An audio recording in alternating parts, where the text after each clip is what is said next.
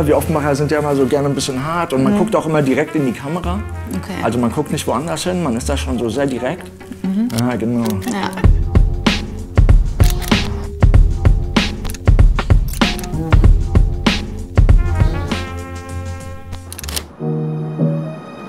Wir fahren gerade von Frankfurt nach Offenbach. Offenbach ist ja eigentlich eher bekannt für die Musikszene da.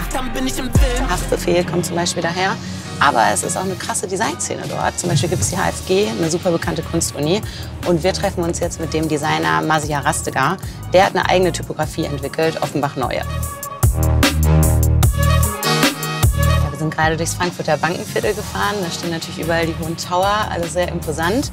Offenbach dagegen ist ein bisschen gemütlicher. Und ich bin sehr gespannt, ob das wirklich so rough ist, wie ich es mir vorstelle.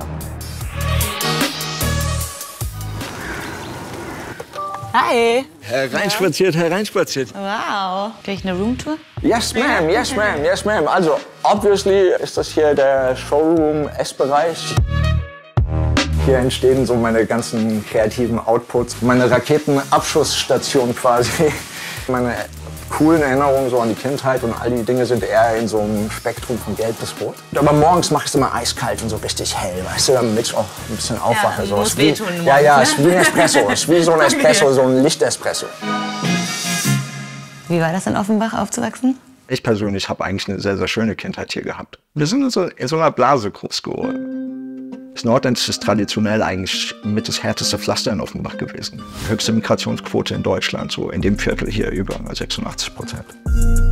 Und die Gegend hier ist äh, so das kreativste Viertel hier in Offenbach. Kreativität fängt hier schon an, wie du manchmal dein Auto reparierst. Als ich dann auf der Hochschule für Gestaltung war, musste ich meinen Freunden halt erzählen, was ich da so mache und keiner hat's gecheckt. Irgendwann habe ich halt gesagt, ich gehe auf eine Bastelschule. lag schon immer in der Vorstellungskraft und in der Visualität. Weißt du, wenn du nichts hast, so, du hast gar nichts und du kannst aus deinem Gehirn heraus, kannst du etwas erschaffen.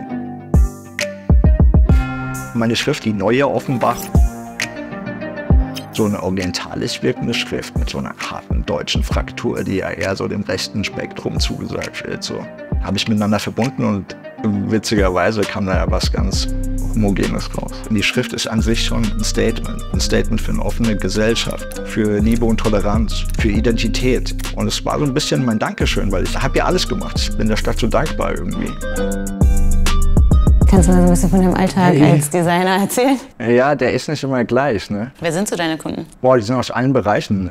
Automarken war etwas, das ich immer geil finde, weil ich Designs für Autos geil finde. Ja, das Logo ist auch super interessant, weil äh, Bratte, den sehen wir später noch. Und Bratte war schon immer äh, ziemlich tief in der lokalen Rap-Szene oder auch in der deutschen Rap-Szene als Backup-Rapper von Haftbefehl. Und Bratte hat mich mal gefragt, ob er für sein neues Label, für sein neues Projekt, ob ich ihm ein Logo machen kann. Also das heißt, du machst sowohl Jobs für große Kunden aus der Industrie als auch für Rapper aus Offenbach. Ja, Woher ziehst du so deine Inspiration?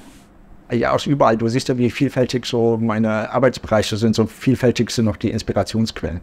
Bei uns im Rathaus und so, da sind auch Teile, es war auch eine kleine Inspiration zu meiner Schrift. Ja, ich freue mich hier auch so, meine Stand zeigen zu können. Ja, ich freue mich auch mega. Avanti, Komm nach Avanti. dir. Avanti, Avanti ist auch ein geiler Track, auch von einem Offenbacher. Willkommen hier am altehrwürdigen Willy Brandt-Platz. Brutalismus ist Ja, quasi unsere Architekturrichtung. Du hast diese geometrischen Kanten, die sich dann wiederum abwechseln und auf einmal in eine weiche Form übergehen. Und genau dieses Zusammenspiel ist ja auch das, was die Schrift ausmacht. Ich habe da auch 45 Grad Kanten benutzt. Das ist in der Typografie eher selten, weil es eigentlich schon zu radikal ist, so weißt du? Lange nicht gesehen, mein Lieber. Geil. Jana. Das ist die Jana, Oh, genau. Mann. Jana, Hi. Bratte, Bratte. Mit den Jungs bin ich groß geworden, so. Das sind meine Brüder. Unsere Nationalität ist Offenbach. Ja, Offenbach hat so einen sehr großen kulturellen Reichtum. Gestalte ich ja auch. Ich versuche immer, das Gesamte mit einzubeziehen. Und dazu gehört für mich auch diese Passage. Damals hatte ich die Idee, dass ich ein Musiklabel mache für die Jungs, die halt auch so verlorene Talente sind, eben einiges zu sagen haben. Dann habe ich irgendwann mal gesagt, hier Matze, ich brauche ein geiles Logo 069. Ich bin ja jahrelang mit Haftbefehl so sein ewiger Wegbegleiter. Dann hat er irgendwann mal das Logo für mich gemacht, das ist 069. Da habe ich auch tatsächlich dein Logo genommen und habe was Krasses daraus gemacht. Aber es ist geil, dass du das weitergedacht hast. 100% Straße und dadurch entsteht sowas wie Community Design. Du machst später noch was, oder? Ja, ja, ja, ja. Wir sind die Underdogs. So, willkommen in unser Wohnzimmer. Ich habe was Voll geil. Geiles auf jeden Fall im Kopf. Ja. Hör mal. Einsam am Block um 4 Uhr morgens. Groß geworden bin ich im Herzen der Gosse. Ich habe es mir geschworen, Brat, diese werde ich roppen.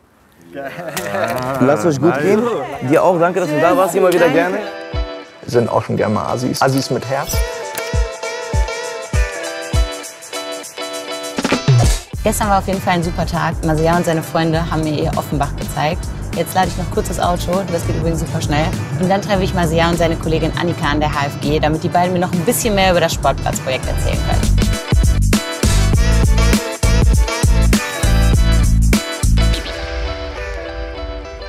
Hi, ich bin Jana. Hi, Annika. Einmal reinspaziert. Danke.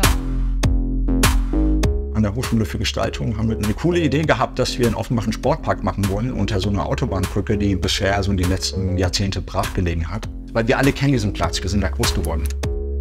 Und wir dachten uns, wir machen den demokratischsten Platz in Offenbach. Und so haben wir uns dann an Professor Kai Vöckler hier von der HFG gewendet, äh, Professor für Urban Design und Mobilität. Am Ende sind sehr, sehr schöne Entwürfe rumgekommen. Kann ich das machen? Ja klar, kannst du. Das ist jetzt einer davon, der heißt Bandbreite. Bei der Gruppe war es eben ganz, ganz wichtig, dass der komplette Park behindertenfreundlich ist.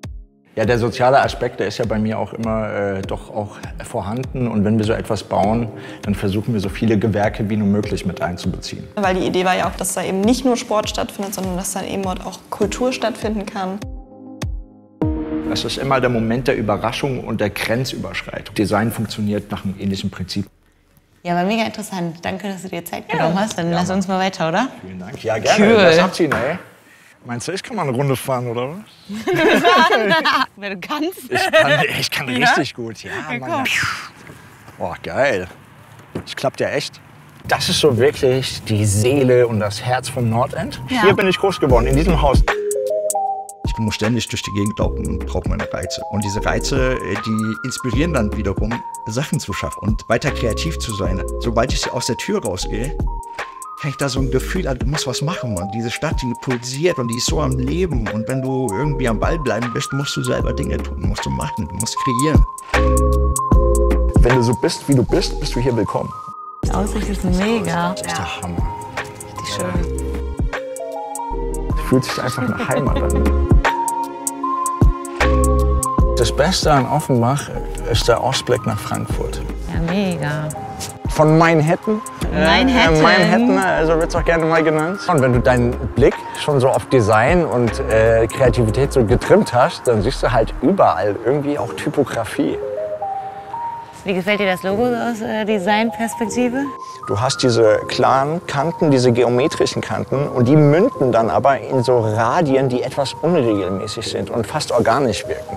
Und dadurch erstellst du erst den Kontrast zwischen diesen beiden Formen. Sag mal, hast du Bock noch ein bisschen was, äh, so ein bisschen was für die Ohren, mal ein bisschen Mucke hören und so? Ja, klar. Mal gucken, was das äh, Ding kann. Oh. Das fängt soft an.